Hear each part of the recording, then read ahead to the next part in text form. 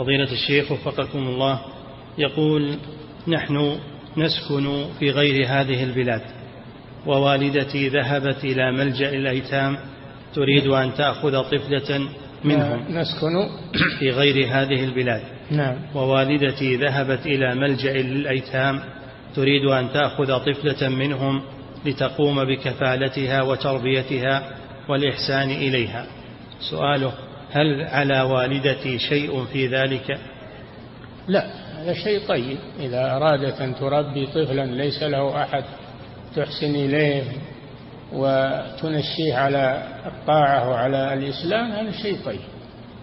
هذا من الإحسان إلى الأيتام. نعم.